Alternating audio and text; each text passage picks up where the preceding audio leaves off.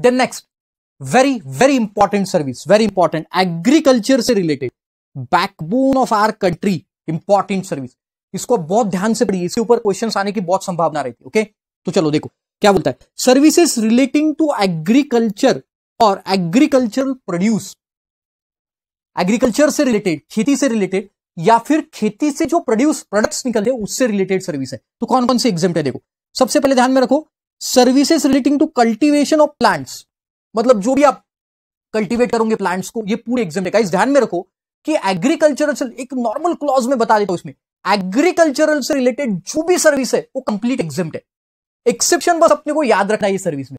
वैसे आप जो भी एग्रीकल्चर से रिलेटेड सर्विस है कंप्लीटली एग्ज़ाम मानो, क्योंकि ये बैकबोन है अपने कंट्री का ओके और जो एक्सेप्शनल है, वो मैं बता देता हूँ। तो देखो कल्टीवेशन से रिलेटेड पूरी सर्विस एग्ज़ाम है and rearing of all life farms of forms of animal मतलब जो भी एनिमल एनिमल को रेयरिंग करना, पालना, ये सब सर्विसेज़ को एग्ज़ाम करके रखा है। लेकिन rearing of all life forms of animal में घोड़ों को उन्होंने एक्सेप्शन किया है। घोड़े पालना घोड़े पालना पालना घोड़े पालना, ये क्या है?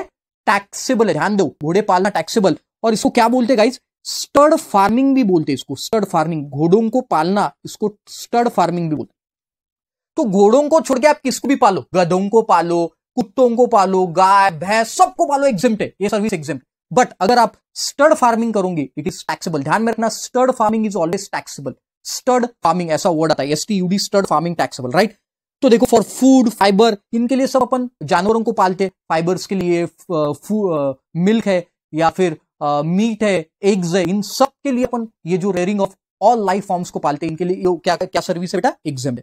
तो अब देखो ये एग्रीकल्चर से रिलेटेड जो भी सर्विस है तो agriculture operation like agriculture produce including cultivation harvesting ये सब एग्ज़ाम हो गई। Exempt then supply of farm labour farm labour को सप्लाई करना मतलब क्या?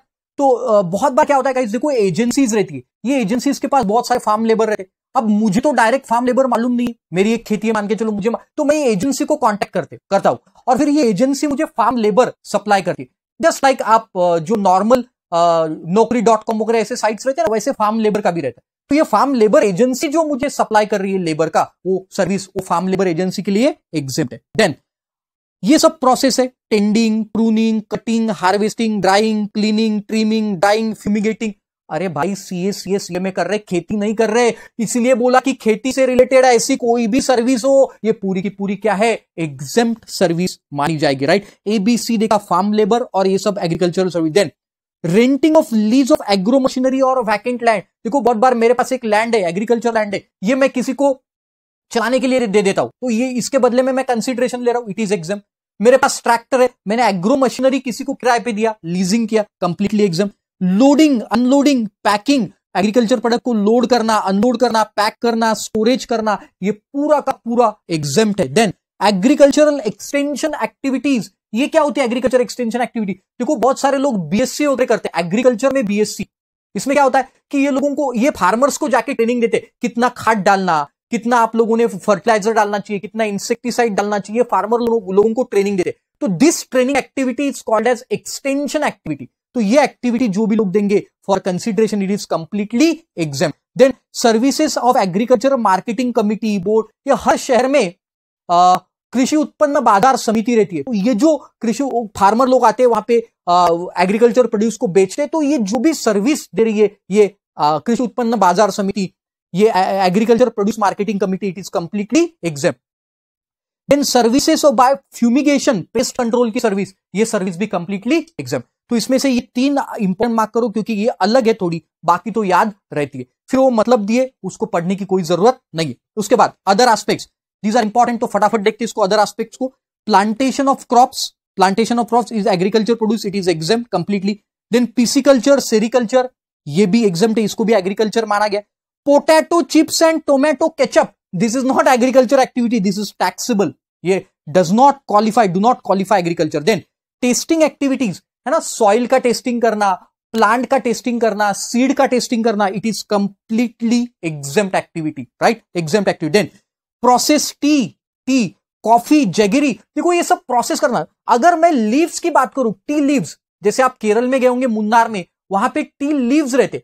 तो ये टी लीव्स जो है दैट इज़ एग्ज़ाम बट उसको प्रोसेस किया जाता है क्यूरिंग किया जाता है रोस्टिंग किया, ये प्रोसेस्ड एक्टिविटी टैक्सेबल ध्यान से सुनना। Tea leaves are not this these are देखो वहाँ पे लिखा है ग्रीन टी लीव्स ये एग्रीकल्चर प्रोडक्ट है। But green tea after process is not agriculture अगर उस पर प्रोसेस होती है प्रोसेस होने के बाद वो एग्रीकल्चर प्रोड्यूस नहीं hence it is taxable it is important after process it will not remain agriculture produce same jaggery sugar cane की मैं बात करूँ तो it is agriculture produce it is exempt but वो शुगर केन को फिर juice निकाल के बॉइल किया जाता है। तो ये जो प्रोसेस है इट इज़ उसके बाद जेगेरी बनता है। तो फिर वो जेगेरी जो बेचते हैं it is not agriculture produce and hence it is taxable बहुत सारे डिबेट हुए थे, इसलिए उन्होंने ये सब दिया उसके बाद पल्सेस डिहस्ट और split is not agriculture produce guys ध्यान दो। जो छिलके वाली दाल रहती है, छिलके वाली दाल इट इज़ पल्स जो छिलके वाला पल्स रहता है इट इज़ एग्रीकल्चर बट उसको डिहस करना मतलब उसका छिलका निकालना पॉलिश दाल रहती है। देखना आप आजकल बाज़ार में तुअर दाल वगैरह पॉलिश मिलती है तो दैट इज़ टैक्सेबल डिहस्क वाली चीज़ इट इज़ डिहस्क पल्सेस जो डिहस की हुई है it is it is taxable okay तो वो सब वहाँ पे लिखा हुआ है। Then whole grain pulse it is agriculture whole grain pulse ये एग्रीकल्चर प्रोडक्ट्स है। Process product such as tea जो प्रोसेस वगैरह मैंने बताया it is taxable it is not agriculture process होने के बाद ये एग्रीकल्चर प्रोड्यूस नहीं रहता। तो ये important service then carrying out and intermediate production अगर agriculture in relation to cultivation of plant and rearing of life forms except again horse stud farming के लिए। तो अगर आप कोई जॉब वर्क के प्रोसेस कर रहे हो, job work process of cleaning of agriculture products तो दिस इज़ एन एग्ज़ाम्पल तो ये intermediate product in relation to what बेटा? कल्टीवेशन ऑफ़ प्लांट्स तो अगर आप कोई इंटरमीडिएट प्रोडक्शन कर रहे हो इंटरमीडिएट प्रोडक्शन मतलब job work process in relation to what cultivation cultivation से रिलेटेड अगर है तो job work process in relation of cleaning of agriculture product cultivation से रिलेटेड है तो फिर it is exempt okay but अगर वो कल्टीवेशन से रिलेटेड नहीं है तो टैक्सेबल एग्ज़ाम्पल नीचे दिया देखो. Milling of paddy into rice देखो milling of paddy into rice तो ध्यान दो पहले तो आपके समझने के लिए मैं बता दूँ. Paddy is agricultural produce paddy है ना? धान जिसको बोलते हैं अपन, खेत में पैडी रहता है। और फिर उसका मिलिंग करने के बाद वो राइस बन जाता है। उसमें प्रोसेस किया जाता है। Rice is not agriculture produce ध्यान देना। Rice is not agriculture produce paddy is agriculture produce तो पैडी पे प्रोसेस मिलिंग प्रोसेस किया जाता है। तो ये जो milling of paddy into rice वाली प्रोसेस है it is taxable it is taxable उसके ऊपर पाँच परसेंट जीएसटी लगाया जाता है। तो इसके दो रीजन है गाइस पहला रीजन देखो क्या है? It is not an intermediate process जो अपन ने देखा, ये कल्टीवेशन ऑफ़ प्लांट से रिलेटेड इंटरमीडिएट प्रोसेस नहीं है। क्योंकि पैडी वो पूरा बनने कल्टीवेशन से milling is not process related to cultivation milling is not process relating to cultivation. Paddy को राइस बनाना, इसको हम मिलिंग प्रोसेस बोलते हैं।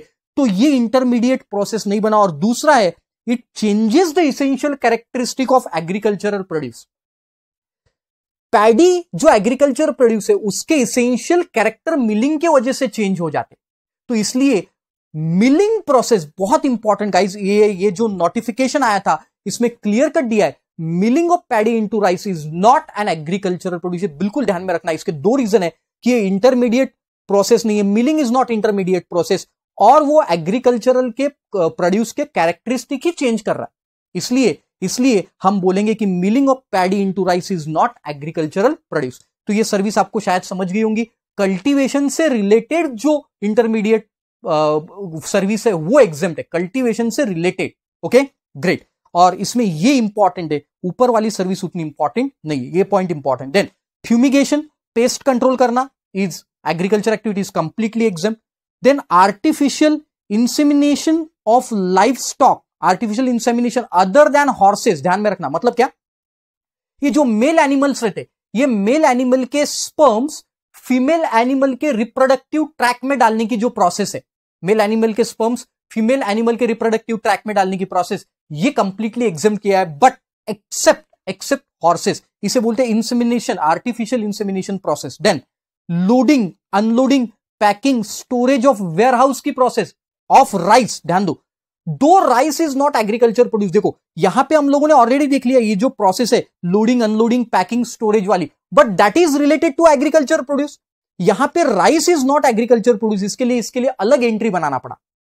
तो अब इन्होंने राइस को भी लोडिंग राइस का unloading loading packing storage warehousing ये सर्विस भी कंप्लीटली एग्ज़ाम कर डाली ओके क्योंकि ये बहुत साउथ साइड में ये मेन फ़ूड है तो इसलिए इसको भी एग्ज़ाम कर डाला then warehousing of minor forest produce minor forest produce में क्या आता है? बांबू तेंदुल्यूज इनका वेयर हाउसिंग करना, इनका वेयर हाउसिंग करना, ये प्रोसेस भी एग्ज़ाम है। गाइज़ मैंने एबीसी कैटेगरी में इसको डिवाइड किया। आपको जो सी कैटेगरी एक बार पढ़ के रखना है, उसको बहुत ज़्यादा स्ट्रेसफुली नहीं बट ध्यान में ज़रूर रखना है। देन स्टोरेज और warehousing of cereals pulses etcetera cereals धान्य को स्टोरेज करना पल्सेस दाल को, दाल का स्टोरेज करना, ये सब प्रोसेस भी क्या करके रखिए? एग्जेम्प्ट करके रखिए। Then services of fruits services in relation to fruits vegetable कौन कौन सी सर्विस देखो? प्री कंडीशनिंग चिकूज रहते चिकूज उनको प्री कंडीशन किया जाता है। प्री कूलिंग राइपनिंग बनाना को राइपनिंग वैक्सिंग ये एप्पल को किया जाता है। रिटेल पैकिंग लेबलिंग ये एप्पल्स मैंगो पे लेबलिंग किया जाता है। तो ये जो सब प्रोसेस है लेबलिंग करना राइपनिंग करना प्री कूलिंग करना प्री कंडीशनिंग करना, ये सर्विसेज़ कंप्लीटली एग्ज़ाम किए गए प्रोवाइडेड प्रोवाइडेड ये सर्विस से, ये सर्विस से वो प्रोडक्ट के इसेंशियल कैरेक्टर खत्म नहीं होना चाहिए। एग्ज़ाम्पल जैसे मैंने केले को राइपन किया तो पहले भी केला था, वो कच्चा केला था। अब उसको राइपन करने के बाद भी केला ही रहा। बट हाँ मैंने केले के चिप्स बना डाला तो उसके कैरेक्टरिस्टिक चेंज हो गए। तो नाउ केले के chips banana is not an exempted service right तो ये जो सर्विस दी ये राइपनिंग से प्री कूलिंग से वैक्सिंग से रिटेल पैकिंग से, है ना मैंगोज को रिटेल पैक किया जाता है एक डजन, आधा डजन ऐसे पैकिंग बना, ये प्रोसेस से फ़ूड का इसेंशियल कैरेक्टर फ्रूट्स या वेजिटेबल का कैरेक्टर चेंज नहीं होता। तो वो सर्विस एग्ज़ाम की गई है। Then services provided by NCCD इसको छोड़ दो। ये नहीं पढ़ा तो भी चलेगा।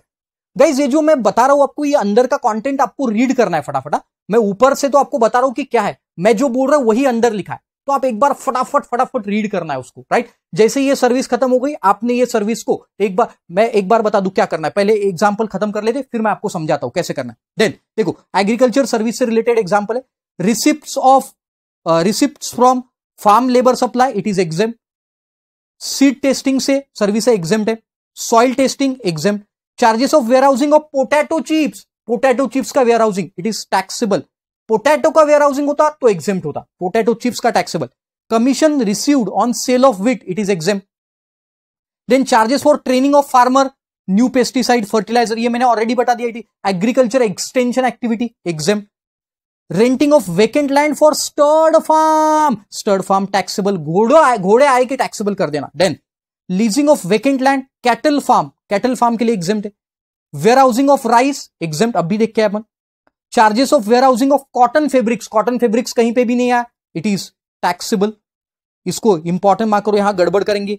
कैटल फार्म स्टर्ड फार्म इसको इंपॉर्टेंट मार्क करो। Retail packing labelling exempt charges of warehousing of minor produce exempt right ये दो तीन पॉइंट को एग्ज़ाम के समय देख के जाना, जो मैं हाईलाइट करके दे रहा हूँ। गाइस देखो, ये उसका आंसर पूरा answer right value of taxable supply GST पूछा नहीं अदरवाइज़ हम जीएसटी भी निकाल के दे देते। देखो, अब मैंने क्या किया कि ये जो पूरे पॉइंट्स दिख रहे हैं आपको एंट्री दिख रही ट्वेल्व ए थर्टीन फोर्टीन ये जो एंट्रीज दिख रही है, ये एंट्रीज मैंने आपको समझा दी। अब आपको क्या करना है? मैंने पूरा समझा दिया। अब आपको लेक्चर जब खत्म हो जाएगा, तब आपको वापस एक बार अब भी के अब भी पढ़ना है तो आपको पूरा याद हो जाएगा। और लॉजिकली इतने सारे एग्ज़ाम्पल देकर समझा रहा हूँ तो डेफिनेटली आपको समझ ही जाएगा। मैं जो बोल रहा हूँ, उसको आपको फॉलो करना पड़ेगा तो ही आपको सक्सेस मिलेगा। Okay thank you thank you so much